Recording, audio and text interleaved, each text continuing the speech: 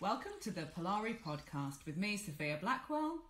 And me, Paul Burston. So, Paul, we're here to talk about the last stop before we get to the prize ceremony on the evening of Saturday, October 30th. And that last stop took place in Scotland at the Scottish Poetry Library with Barbara Brownskirt, Iain Morrison, Shane Strachan, and Fiona Mozley. Now, the main question that I'd like to ask you about the event is obviously it took place in Scotland, so was it completely Baltically freezing? It wasn't. It was actually really mild. So I went to Glasgow for five days, and then I went from there over to Edinburgh where we did the show. And Glasgow was a little bit chillier than Edinburgh, but they were both. It was. It wasn't too cold. Um, I was. Ex- I, whenever I go to Scotland, I always brace myself for it to be really cold. My mum is from Edinburgh, so I have many memories of family holidays going up to Scotland from Wales, where I grew up, and um, we had a really fantastic, fantastic time. It was it was one of those events where, because of the situation with COVID and you know different um, rules in different parts of the country or and different countries, you know, for example, on the train going up to Glasgow, very few people were wearing masks. And then when we cross the border, there's an announcement telling you you have to put a mask on, and suddenly everyone puts a mask on, and you think, well, you've just spent four hours in the same carriage with these people. What's the point of putting it on now? So yeah, it was all kind of strange, and we didn't know whether the event would be able to go ahead until quite late in the day. We didn't know how many people would come. It was the first event at Scottish Poetry Library since the arrival of COVID, the first physical event. So, Paul, when we started this tour in October last year, the podcast captured Polari events that were completely physical then a mixture of online and physical events, then completely online events, then a mixture, and now we're back to physical events again. It's been a bit of a roller coaster to say the least. What would you say that you've learned during that time?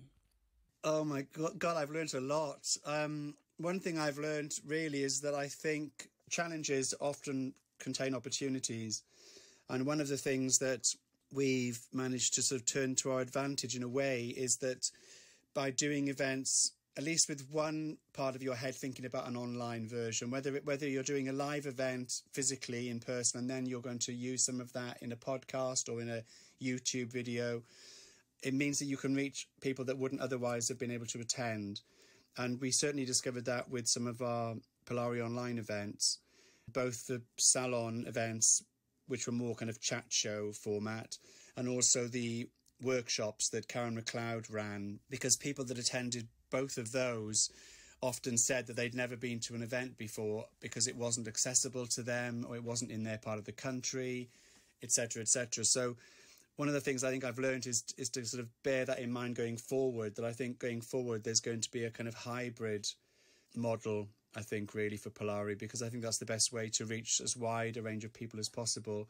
If and when, well, as and when we come out of this current situation, there are still going to be people who are, feel more cautious about returning to crowded physical venues than others. And I think one has to bear that in mind. So I think I think going forward there's going to be a mixture of of both um, in person physical events and also online events and podcasts and digital events and YouTube videos and so on. I think I think it's a mixture of all those things will come together in the future.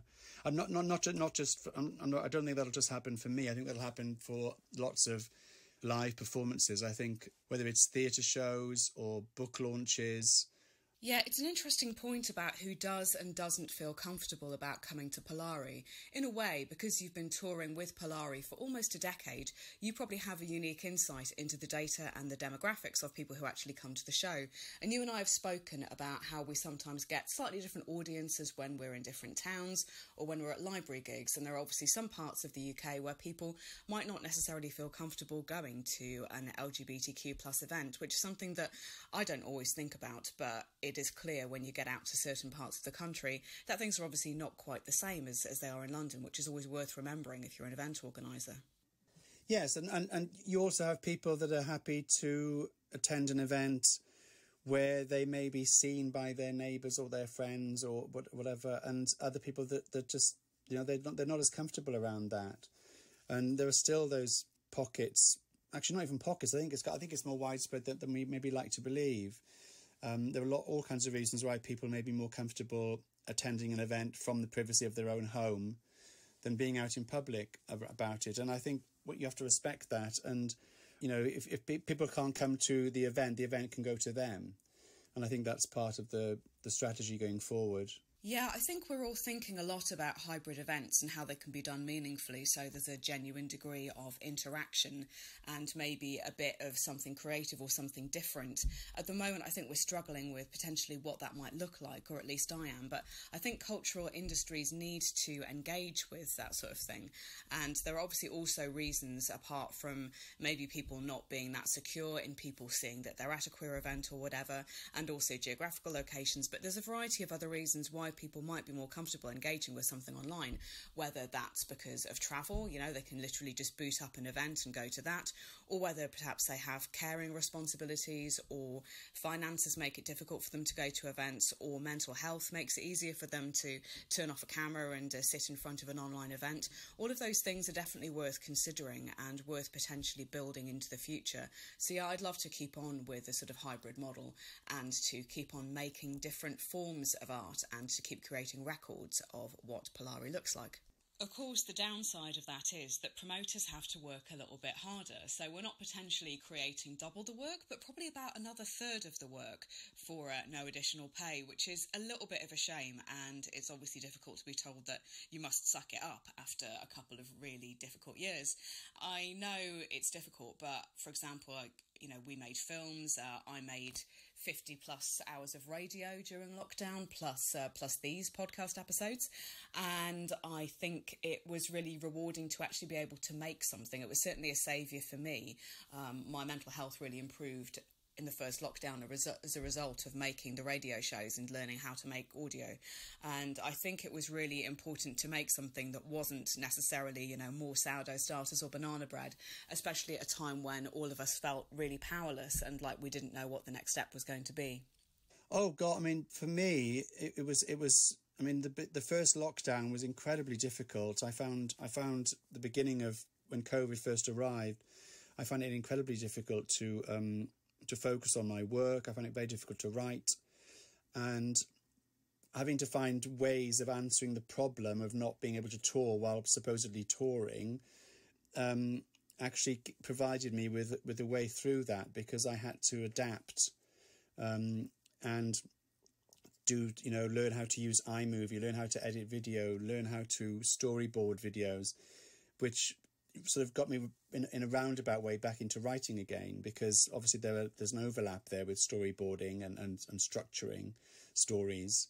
And even though my brain was very foggy and I couldn't I couldn't find it in myself to write fiction I find it very difficult to write fiction I was able to shape storylines for videos and then through that discipline and daily exercise I guess it sort of steered me back into the writing again. So ad- adapting to challenges. And yet, if you're working in the creative industries, it's inevitable. You, I think, I think you just take it as part of the job that you're always going to be asked to do more for less. I think it's just, it just seems to come with the territory.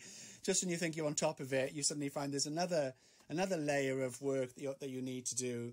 I mean, I was talking to my accountant yesterday about all the new things that are coming in for for self-employed people in a couple of years just another layer of bureaucracy, another another layer of work that we have to do. We have to do these quarterly um, tax returns, and you just think, you know, there's the, there's there's no no, no creative endeavor goes unpunished.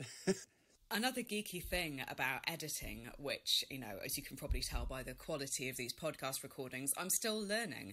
But it's an interesting thing to think about how things like editing audio and film can actually shape your writing.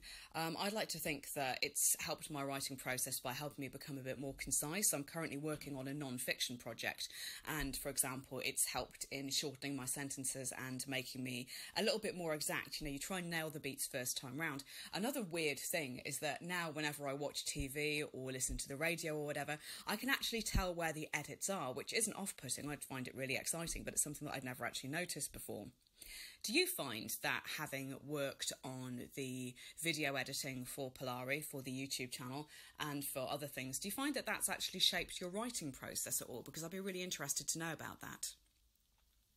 Oh, definitely. There's no question. Yeah, definitely. I mean, I have storyboarded before. I storyboarded The Black Path, um, which was the novel that I that came out in 2016. It was my fifth novel, and I storyboarded that because it was such a break from what I'd written before. Before, I'd always just written on the fly. I, I, I just, I just, I'm a pantser, you know. I don't really plot, but for that one, I really had to plot. Even though the the novel that came out of it didn't stick strictly to the storyboard having the storyboard there gave me the confidence to move forward with it. So uh, it is something I've done before. I've, i think this experience has, has, sort of focused it a bit more and made it made it tighter. But that, I think that's because when you're when you're working on videos for YouTube, you know there is a sense of urgency around them. There's a sense that people aren't going to engage for longer than a certain duration. So you're very conscious when you're putting them together of how long people's attention spans are, especially last year. People's attention spans last year were not great, you know, for obvious reasons, including my own. So you, you do you want to tell the story as quickly and as efficiently as possible, even though you're writing long form fiction. You can still apply those those rules in terms of individual scenes within a novel so you mentioned one of our all-time favourites, Barbara Brownskirt, aka Karen McLeod. Now she was part of the very first episode that we did when I interviewed her upstairs at the RVT during the first ever Polari event that uh, we did as part of this tour almost, well, slightly over a year ago actually, in early October 2020. And she was part of this tour, wasn't she, for most of it? And you two were actually uh, going around together, and she was teaching creative writing along with you online. Well, yes, because Karen Karen was my um, touring partner for the sort of physical events that we that we that we managed to put on. So she travelled to um, Brighton, she travelled to Manchester, and she travelled to uh, Edinburgh and where she performed as Barbara Brownskirt, um, who we've had on the podcast before. Um, and Edinburgh was was great because it was this, you know, the Scottish Poetry Library. You know, what a triumph for Barbara to to bully her way on into that venue. Actually, she was on fire that night. You know, people were quite scared, and rightly so. Well, yes, obviously Barbara always livens things up, but you also had some other poets uh, as part of this event, quite heavy on the poets this bill. Was it the fact that it was at the wonderful venue that is the Scottish Poetry Library? Did that inspire you to put some local poets on your roster? Yes, very much so. I mean, I, I you know, I think I felt that it would only be only be right for a, an event there to be heavy on on poetry. Um, so we had, apart from Barbara, um, we also had two other poets on the bill, and as, so we had um, Shane Strachan, who I've worked with before. He performed with us in Edinburgh quite some years ago, actually, about four or five years ago. He lives in Aberdeen, and we also had an, an Edinburgh-based poet, Iain Morrison, who I'd never worked with before, who was fantastic as well. So they were they were they were both excellent. I, I, I wasn't familiar with Shane's new work. The last time we worked together, he read prose, and he was fantastic.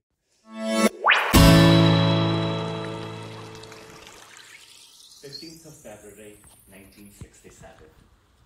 In a pub at the top of Earls Court Road, the barmaid's fancy dress suggests we've entered the Edwardian era. oh, please, with a fashion forward press, we'll have no trips to the past, dears. At the start of the show, we're thrown who pairs lilac and camel check? And mushroom shoulders on a plain white dress. We sigh with relief at trousers called Herrera style in tight anklets. Exotic. We're simply sick of mini skirts and feel the pinch on these drafty days. But are lower hemlines here to stay? What novel treatment of traditional tweed, and amethyst and white with inverted pleats and we witness the bat of the kilted suit, a tartan skirt and brief bolero, and Macmillan, rainbow hues. As far flowers in powder blue, we hunt for seed pearls embroidered on collar and cuff. But on a little black chiffon shift, we count mists, sleeve's huge puff. These gay petite clothes are for young, but not cookie clients, who crave individuality. Down in hard-bitten London town we rave. Bill Gibbs' name has been made.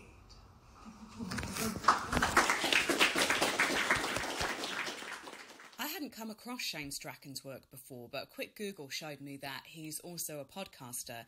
He's got two limited podcast series which you can find on the usual platforms. One of them is called The Bill Gibb Line, which is about the Scottish designer Bill Gibb, who he references in one of the audio snippets as part of this programme. And the other one is a series of stories in Scots called Ora Though It Be, and they all look really interesting. He seems like somebody who turns his hand to quite a few different forms of art. I hadn't come across the work of Iain Morrison either, but I found the poems that are featured as part of this programme very beautiful. I'll definitely be looking up some more of his work. I didn't I didn't know Iain's work at all. I only what I managed to research online. I'd never met him or, or heard him performing live. He was a fantastic performer, really fantastic. My back cools also in broadening swathes of clam. I can't tell what sign you're making, on your back or facing, away. This all feels right and now I hear the sea.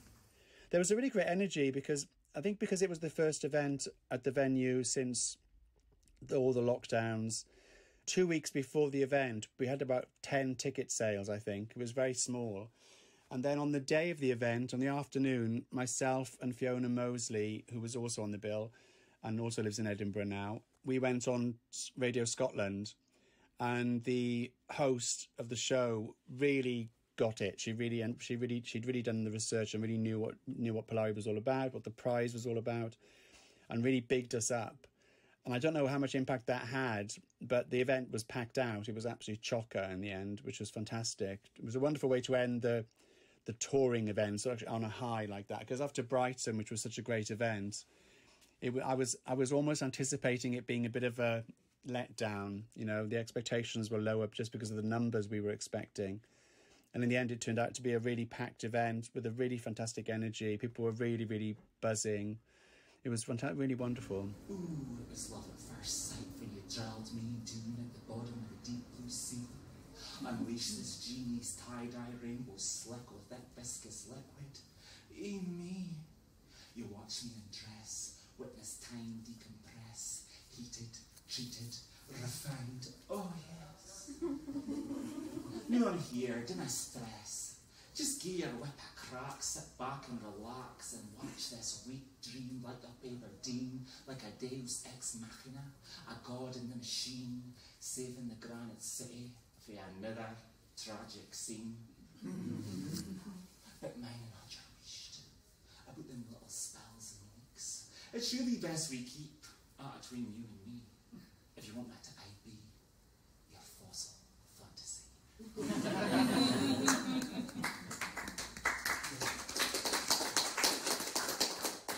Yes, he's a, he is a he's a really interesting writer, and he's got lots of different um, different strings to his bow.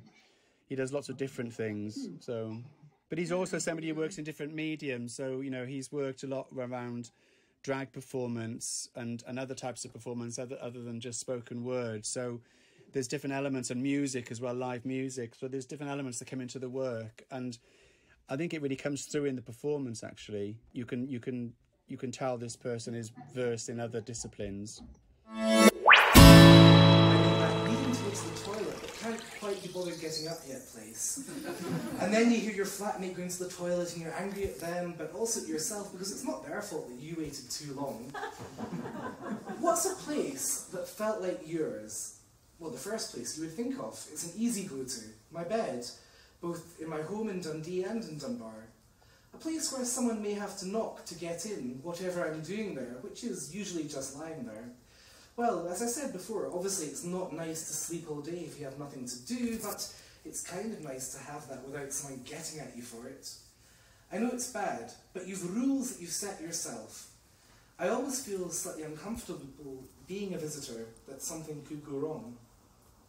Can you think of a place that you felt safety and happiness? I mean, I think there's multiple. I mean, that's the issue, isn't it? A set of conditions for the place. What was the time you felt like those things came together for you? I think your home. A horrible drunken night in the city.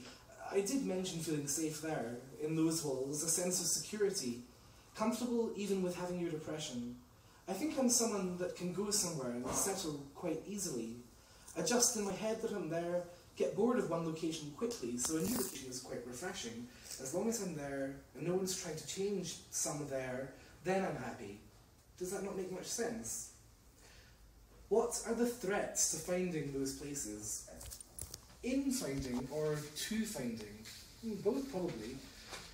Other people trying to take you away from that space. Money if you can't travel to that space. Big plush pillows, I'm kidding. A sex dungeon. Don't write that. Are you writing that?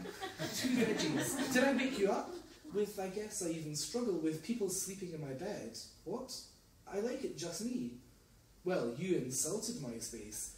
It smelled of cigarettes. I am a smoker, so you're very good at not smoking in my space. I got made fun of for that. You have to go outside by the skips to smoke, haha. But he has to stay in his space and poison his dog. It doesn't do anything to dogs, really? Well, I'm sure you'd like to believe that. Why is it bad for babies? Because babies are human. that sounds like selective science to me. Okay. Tell me about the place you'd like to imagine as your place. Oh, goodness. Bjork got offered an island for her good deeds. Her good deeds. She rejected it. A house on a big rock, but the top's a lush green area. That would be quite lovely. I can see why Bjork might not have wanted that. I think solitude's the thing for me. But then, you know, also it's nice to look out of the window and know that you're not the only person in the world. First novel, Elmet, and her very different follow up, Hot Stew, which is out now from John Murray Press and is definitely worth a read. It's a tale of old Soho under threat from developers, which is a cause that's very, very close to our hearts, I'm sure. And she's reading a story, a new story, as part of this event, which I found this snippet really fascinating. she was in two minds about reading it. She was originally going to read from her new novel, Hot Stew. And about a week before, she emailed me and said, Would it be okay to read a short story that she was working on? And I said, Absolutely. And because it's such a personal story and it's about a subject that's not really well understood, she said, well, she said actually that, you know, if she couldn't read it at Polari, where could she read it? Because it, it feels like a safe space in which to read something that's has so much personal um there are lots of autobiographical elements in that story so she was understandably cautious about sharing it um and she read it beautifully and the audience really really responded to it really well and it gave her a real boost um, she sent me the, the full story to read afterwards and I've read it. It's, it's absolutely wonderful. Really wonderful piece of work. Dr. Law had seen Mary before for depression and had prescribed a course of citalopram. Her first question was about mental health, and Mary replied with some lies about how good she'd been feeling. She stopped taking the drugs not because she was happy, but because they dampened the emotional tug of empathy and made her cruel. But she couldn't be bothered to go into it now. She said she had a physical issue, and Dr. Law invited elaboration. Mary often rehearsed difficult conversations in her head before she had them, but although she'd been foreseeing this moment for years, she'd been unable to build a discursive litany. She lacked the terminology, she lacked paradigms. She mentioned Steve and used his assessment, later considering how strange it was to cite her boyfriend on this topic, but he'd seen more naked women up close than she had. He'd seen several, whereas she'd only seen herself. So when they tried to have sex and problems had arisen, she'd asked him to detail his other intimate encounters, feeling a bit like Hedda Gabler on the chaise with Eilert Løvborg, urging him to entertain her with tales of debauchery she could never herself experience. Dr. Law frowned at Mary's rudimentary explanation as if listening to unlikely gossip. She suggested an examination, and Mary undressed behind the curtain. She pulled down her jeans and knickers, rolled them into a tight ball, and placed them on a chair. She climbed onto the bench. The plastic stuck to her skin and squeaked as she settled herself, feet together, knees apart. Dr. Law's hands were cold, and though she barely made contact, she touched Mary's vulva as if it were an origami sculpture, liable to crumble beneath a misplaced fingertip. Mary wondered at the doctor's reticence. She would later discover that other women's cunts were less robust than hers, quivering with pleasure or pain at the, pain at the slightest touch. But lacking this knowledge, she read the doctor's caution as confusion. It must be something beyond her experience, something she couldn't comprehend. The assessment was brief. Mary put her clothes back on, and the doctor and patient sat down together on the chairs by the desk. There were further examples of infantilising imagery around the room, jolly, furry creatures issuing instructions about head lice and chlamydia. Dr. Law said she would refer Mary to a consultant gynecologist. She looked up a list of those practicing at nearby hospitals. Waiting times varied, and she selected the one who'd be able to see Mary soonest, then began to dictate a letter that would be typed up by her secretary. Mary listened as the doctor tried to explain her situation, stumbling in the same places that she had stumbled, likewise describing her anatomy according to the functions it could and could not perform. Several times she returned to Mary for clarification. You menstruate? Yes, but my periods are very painful. Mary didn't know if that last part was relevant. But you can't use tampons. Mary shook her head to confirm, then silently conducted an appraisal of whether nodding would have been more appropriate to corroborate a negative clause. And you obviously can't have sex at all. Mary paused. Later, much later, she would realise that she could have sex, that she'd been having sex in various styles for years. But in the doctor's surgery in the spring of 2007, having just turned 19, she confirmed that she could not have sex at all. Mary was first sexually aroused when she was five years old. She first masturbated to orgasm when she was 11. She didn't know the word orgasm, nor did she know the word clitoris, but she knew that rubbing herself in a particular way felt good. She also knew to keep quiet about it. She got the impression from bawdy schoolyard, di- schoolyard dialogues that boys engaged in an activity called wanking, mm-hmm. but girls didn't. She wasn't a boy, obviously. So what she was doing couldn't be that, and even the word seemed more applicable to boys than girls. Besides, she viewed what she was doing as a temporary activity, a placeholder until the commencement of real sex, by which she meant full, penetrative sex. There are still certain topics within the areas around gender and sexuality which are still sensitive or, or even taboo, even within our community. And, you know, the more people talk about those experiences and those feelings and those identities, um, the better, because that's how we all learn from each other. And it, but it, it does take courage to to share some of those stories because there's always that fear of not not not not so much rejection, although I guess that's probably part of the fear, but not being understood or being misunderstood. It's a brave piece of writing, and it was a brave thing to to share it um, with a live audience like that.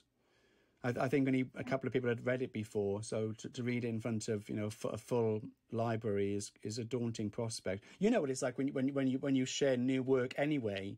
I mean, it's always daunting to share new work in front of an audience. The first time the first time you read a piece of work in front of an audience is terrifying, frankly. Once you've done it once and you've had you've had some positive feedback, then it gives you the confidence to go on and, and do it again. But if if the piece you're reading is also very personal, I think that makes it more challenging because you, you, you feel you feel exposed on so many different fronts then it's not just the work it's also you that, that you're exposing yourself it feels like because it's your the work is close to you so it's a, it's a, it's a brave and difficult thing to do um, and she she did it fantastically she did it really beautifully so, Paul, the Polari Prize announcement is approaching at the time that we record this. Are you looking forward to returning to your old spot at the South Bank Centre? Because it must have been over a year, surely, since we were last there. I'm really excited. I mean, it's actually been I worked out it's been 20 months since I was last on stage at the South Bank Centre. We were last there in February 2020.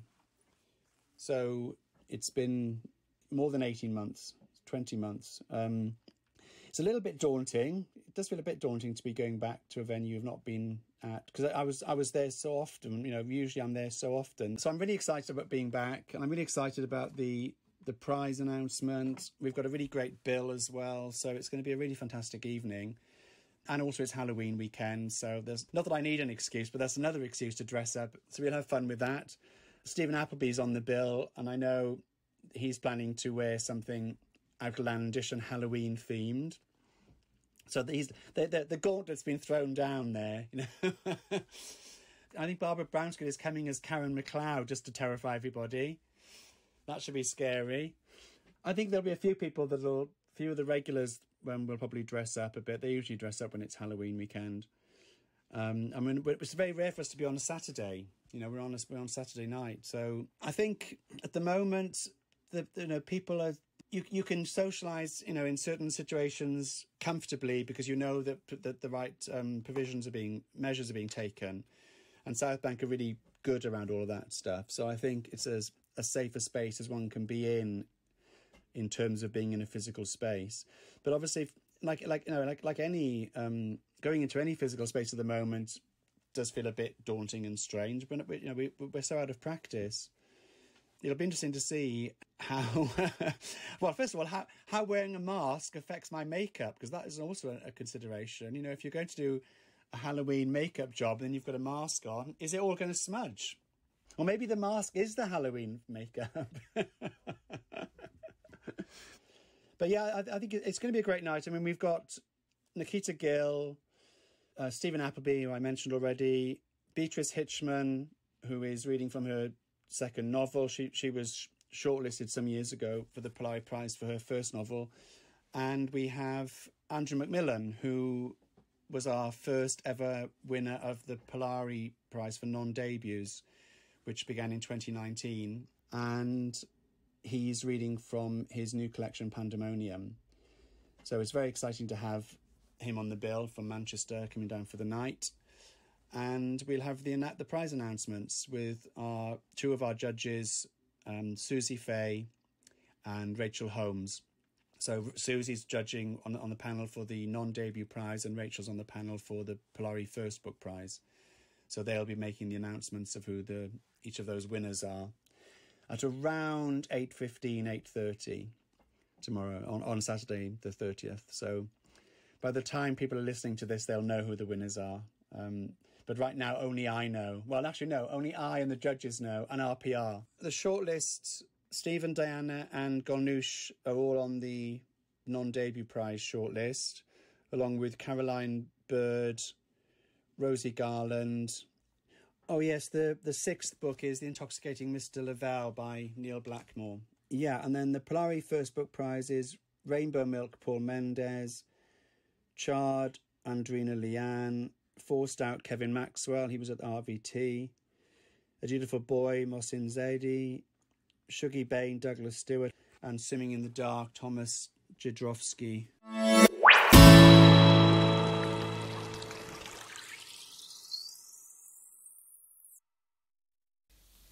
So, we're going to have a quick rundown of some of the shortlisted authors for the Polari Prize and the Polari First Book Prize, which will be announced uh, on the evening of October the 30th at the South Bank Centre.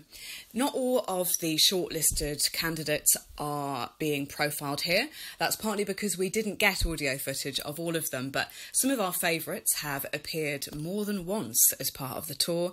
And for those who we didn't get the audio of, they are also also in the running. So obviously, don't let these snippets here for you. These are not the only people who've been nominated for the awards and made it onto the shortlists. And if you want to hear more about the full shortlists for the prizes and indeed the earlier long list for the prizes, do listen to the Polari Prize preview episode, which is a couple of episodes back. So I just wanted to have a little bit of a retrospective of some of the audio that we've collected for this podcast that focuses on specifically our shortlisted authors one of the most interesting books of the past year and one of the first authors that I profiled on Out in South London is Paul Mendez, whose debut, Rainbow Milk, is available now from Dialogue Books. It's the story of Jesse, who leaves his Jehovah's Witness family and community in the Black Country in order to find a new life for himself in London. And Paul hadn't done many readings of the book, uh, partly because of lockdown, but he did a terrific job in Heaven. So here's Paul with a little snippet and introduction of the story of Jesse and Rainbow Milk. So Rainbow Milk is a semi-autobiographical, and I will let you judge how semi and how autobiographical, novel about a young man from a Jehovah's Witness community in the West Midlands, the Black Country. Um, he's from a Jamaican background, and he is disfellowshipped from his community when they find out he's gay. Um, he moves to London and becomes a sex worker.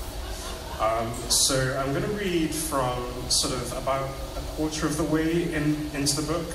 Um, at this point, he has been disfellowshipped. It's May 2002, um, and he's at Birmingham train station, having just left home. Jess's alarm went off at 7, but he'd barely slept. He was excited, if nervous. He'd been scared of London all his life, but was a man now, and after a few months saving up, he was ready to do it. He'd found a hostel on the internet in Earl's Court for £12 a night. He had £300 in his bank account and had no responsibilities to anyone. He packed only what he absolutely needed his best clothes, some underwear, 10 or so CDs, his Discman, the James Baldwin novel, Another Country. He left his key and his Bible on his pillow.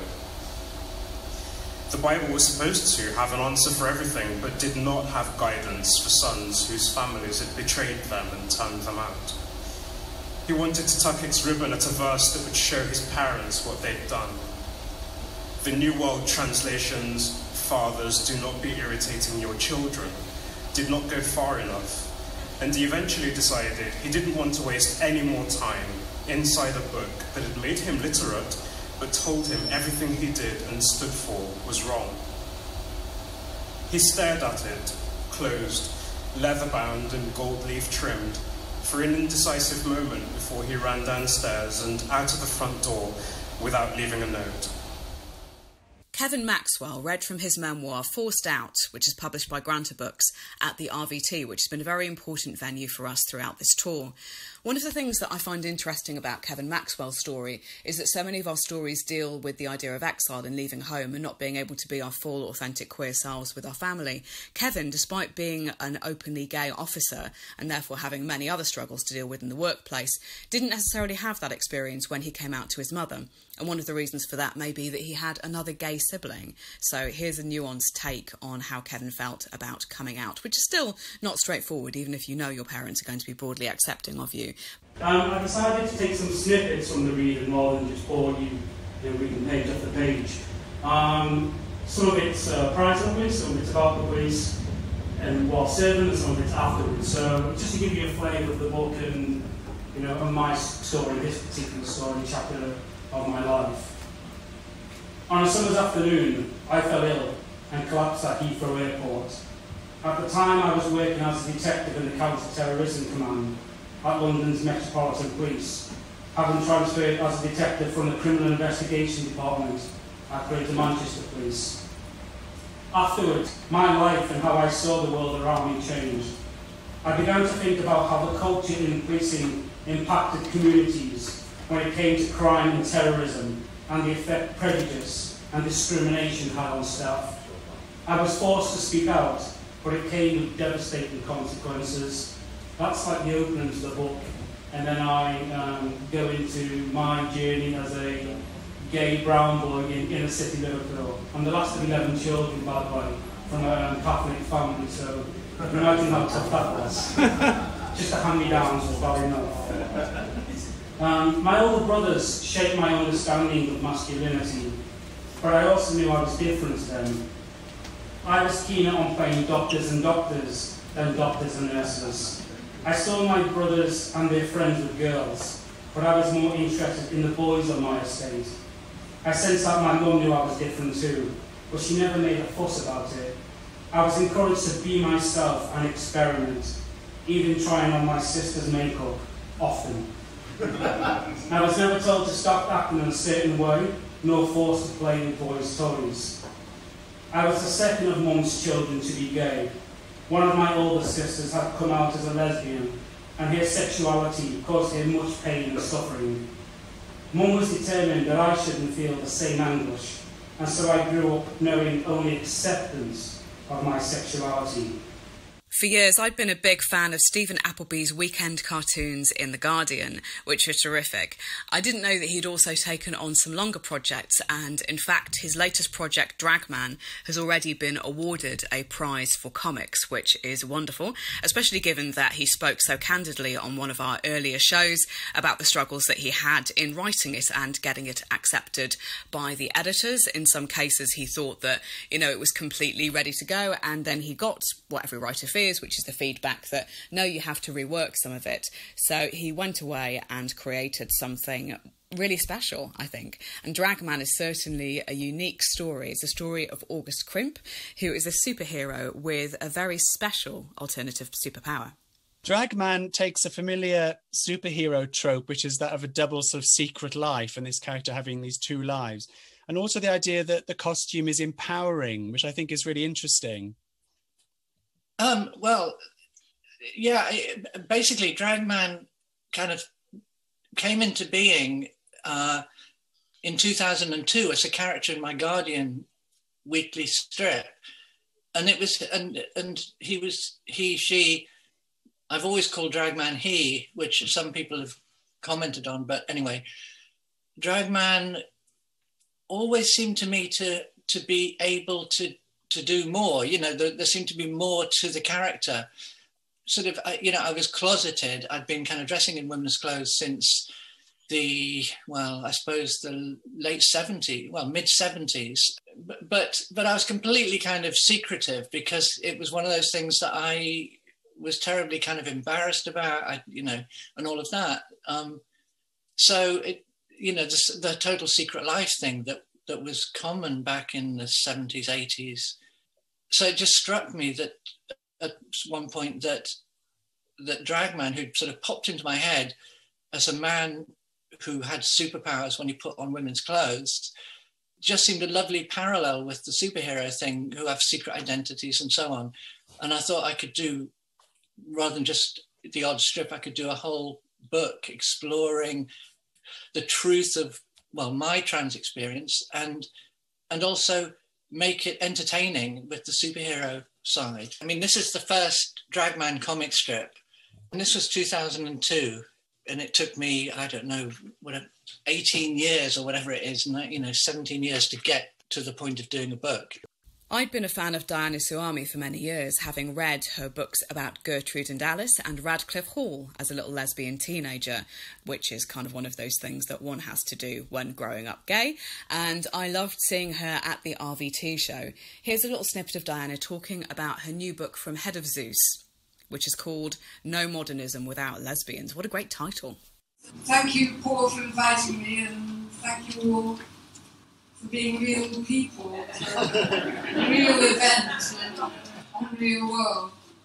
This is what the journalist Janet Flanner wrote in 1926. The world has always had lovers, and yet for thousands of years, with that same amount of energy, society could have stopped war, established liberty, given everybody a free education, free bathtubs, free music, free pianos. Janet Flanner crops up in my book no modernism without lesbians. It's about creative lesbians who, in the decades before the Second World War, fled the repressions and expectations of their hometowns like Washington and London and formed a like-minded community in Paris. They lived, wrote, published freely, and were at the vanguard of modernism, that shift from 19th century orthodoxies into 20th century ways of seeing and saying. There'd been no community like it since the ancient Greek poet Sappho on the island of Lesbos. Many of them learned Greek to read Sappho's verses, and they wrote their own poems in her honour. I started writing biographies of lesbians 35 years ago. I've written lots of them. This is the last. This is the last. it's the first time a mainstream publisher has wanted the word lesbian Historically, a mother didn't want to hear it publishers didn't want to use it. so for me, it's a breakthrough to have lesbian in the title, on the jacket, on the spine, in the running.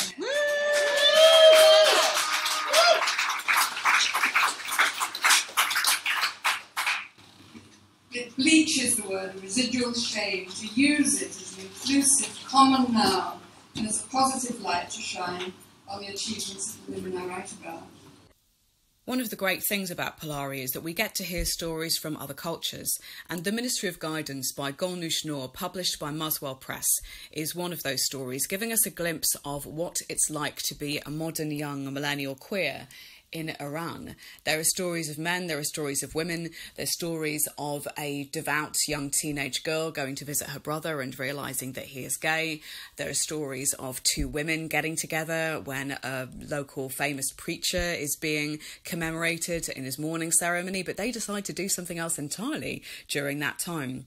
And there are stories of music, there are stories of people who want to grow up and write. It's such a vivid, beautiful book, and I completely recommend The Ministry of Guidance if you want to read something a bit different and a bit special. Here's Golnoosh reading a non fiction piece at Heaven, and it is about the joys of airport food. The narrator is basically just me, I'm going to be honest about that. But it's been uh, categorized as fiction, so whatever. Um, it's got transit. The Ukrainian waiter is shouting at me in bad English that my bacon sandwich contains bacon. You sure you want it? No halal. I feel like answering his idiotic question with another idiotic one. Why do you assume I am Muslim and don't eat bacon? Does my fiery red v-neck shirt and loose hair look like hijab to you? And then I remember it is my dark features. No matter how much skin and hair I put on display, in the eyes of the airport staff, I will always be one thing, a Muslim. I hungrily look around at other customers who are all talking in loud Ukrainian, chuckling with the waiters who are suddenly very welcoming. They are all white. The women are skinny and have long blonde hair. The men are sturdy and have bald heads. The women who push prams look both furious and frustrated. The men all look the same, expressionless. I find most of the boys to be terribly beautiful. They are tall and have large blue eyes, their smooth skin radiating youth. But their belligerent manners ruin it all. My haram sandwich arrives after half an hour, and I assume the waiters have taken turns to spit on my Muslim bacon. Turns out they haven't. In fact, I realize this is the most delicious sandwich I have ever eaten. The bacon tastes so fresh, it melts in my mouth. And for those few seconds that my sandwich lasts, I forget how exhausted I am, and I forget about the xenophobic episode. I catch the eye of the waiter, but I avoid leaving any tips. Also, I conclude the sausage sandwiches my dad made me for school were even better than the one I just had. Because they were elaborate, everything was planned and loved before being put inside the baguette and the mayonnaise was homemade. My dad makes mayonnaise with organic eggs and vinegar and oil. It takes him ages and the whole family is deafened by the cacophony of his blender, but it is the only mayonnaise I like and ever eat. I decide the constant trips to Tehran, which are messing up my body and mind, are worth it. Thank you so much. God news, everyone!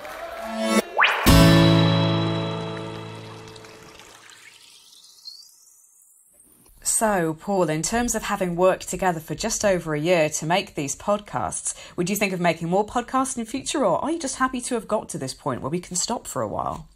Oh no, I, I definitely want to do more podcasts. I also want to do, you know, I want to do more Polari events that aren't physical events. Generally, I want to do as, as much as I can because, as I said before, I think that's a vital way forward in terms of reaching and developing new audiences. The thing is that I really liked the online chat shows earlier this year. I think that's something that can run concurrently in future with live events. Yeah, they're, they're, they're, they're very, they're, it's a very different um, format. You don't have that sort of buzz of having a live audience, so that's different. But you do have an intimacy, which you, which, which is hard to create in, on a stage show. So, and also you can get people who maybe aren't able to physically be in the same room together in terms of the artists i mean not just the audience but you can get you know like we had for example in a previous show we had Um, Salim, we, we, had, we had Saleem Haddad, who is a former Ah, prize winner, you know, who's now living it was living in Lisbon. So normally we wouldn't be able to have him easily on, on, on a stage. We'd have to arrange, you know, to get him into the country or, or wait for him to be here. And then it may well be that our, our program date doesn't coincide with his visit.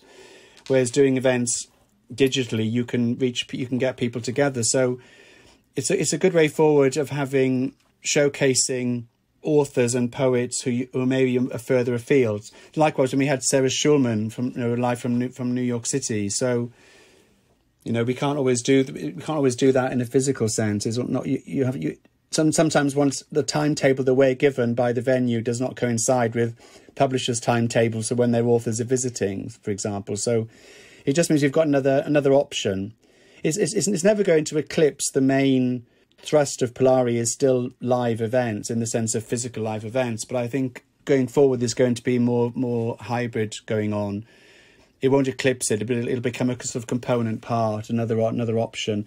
And similarly with the podcast, the podcast is always going to be something that's linked to the physical events or the or the or, or the other events, the online events. So there's always going to be picking up on a showcase that we've that we've staged, whether it's been physically staged in a venue or staged via Zoom. That provides the raw material for the podcast. So I think it has a sort of symbiotic relationship going forward. I've been running Polari now since 2007, and until this last year, the only physical record I had of past events was either photographs that, that do go back to the very beginning. I've had I have photographs right from the beginning of the event in 2007, and there are a couple of short fi- films that were made by people. So there were a couple of short videos where elements, you know, moments of a show or little snatches of a show were, were filmed and then put together. I have I think I have two or three of those, and then I have my own photo album which is on you know Facebook or on my computer. But I don't. Other than that, there was no. There's there's been no record of how to you know sort of relive those events. And now there is. Now there's a whole, a whole wealth of material that didn't exist a year ago. So going forward, that's great to have that. I think you know. I, I think also it's, you, you still have pe- people that will um, stumble across you on a on a on a program for a festival, or they'll happen across up, upon you on Twitter or something, and they'll want to know what exactly is is the, this event. And it's unless they've been, it's actually quite difficult to explain it sometimes. People have preconceived ideas of what a, a literature event is going to be. And I always sort of try and explain to them that it's think of it like a cabaret in which all of the performers happen to be writers. That's how I always try to explain it to people. But now I can, you can just say, well, go and look on YouTube, go and listen to our podcast. You can there, there are places people can go now to get a flavour of what the event is. So having a record of it serves a purpose in terms of having a record, but also in terms of going forward because it gives you something that people can latch onto to see what it is that you're inviting them to come and attend. They can they can check it out online first. We have a birthday, 14th birthday event at GAY Manchester on November the 18th with Rosie Garland, Dale Booton, and Val Qaeda, and Will Belshar on the door and possibly even performing. We shall see. And on December the 1st, we have um, a big event in London, which is Polari in Heaven, with um, Neil Bartlett, Diana Souhami, Son of a Tutu, and Adam Zmith, who has written this wonderful book about the history of poppers. That's the that, that's the one you sniff, not the ones that you pop on your clothes. um, so that's on December the first, World AIDS Day. So I think there'll be quite a there'll be a moments of there'll be moments of quite sort of reflection going on on that evening. I suspect, given given the occasion, but also it'll be a celebration. Um, so we've got these two events, and then that's it for this year. I mean, we're literally we were we were supposed to deliver twenty two events for this tour. That was the original plan was twenty two events, and in actual fact, it's been more like twenty five or twenty six, um, including including the various Polari online events as well as the physical events, and also we did we did other events in conjunction with festivals where they were hosting the event online, but we were part of it. So all in all, I mean, I've I've kind of lost count totally, but it's definitely 25 or maybe more, even more um, events over the last year. So, quite frankly, I'm absolutely exhausted now. Um, so it's just like that one, this one last little hurdle just to get through the next six weeks, and then and then I'm done, and I'm taking a break, and hopefully be able to get away if that's possible. I'd like I'd like to go away and be in the sunshine. Well, congratulations. It's a brilliant achievement to have done that, especially under the circumstances. Thank you. Well, you know, everyone everyone pulled together. Um, I had lots of support doing it. Um, a lot of our touring partners that we've worked with before stepped up and you know created opportunities and venues. The the venues that are still open because obviously some of the venues we plan to work with sadly are no longer open but many many of the partners we've worked with before, you know, certain um, Hertfordshire libraries, for example, Edinburgh festivals where we've where we've had a long history. I mean, Huddersfield was our first ever Polari touring event, sort of north of Watford. Basically, was was Huddersfield Lit Fest back in twenty fourteen, and we've been a regular fixture there ever ever since. Every year we've been back, and obviously the last two is, is the the festivals in March so we've now missed two physical festivals because of COVID. We've taken part in online events with the festival instead. So, you know, if I have, I, uh, you know, huge, huge gratitude to those people as well who've kind of kept us on their radar and stepped up and given us the opportunity to still work with them, even though they weren't running a full physical festival. Well, that's it for the time being. We've made 12 episodes of the Polari podcast, so this is the end of our first series. Hopefully, not the last podcast that we'll make, but this is a record of the tour that started in 2020. During that time, we went from completely physical events to hybrid events to completely online events to hybrid events again, and now we are back to physical with a side order of hybrid. Who knows what the future holds, but this is a record of what we've been up to during that time and the wonderful people, authors, and venues who who have joined Polari along the way. Thanks to Paul Burston for creating these events and for giving a bit of shape and highlights to our lives during some of the darkest times that we've endured recently.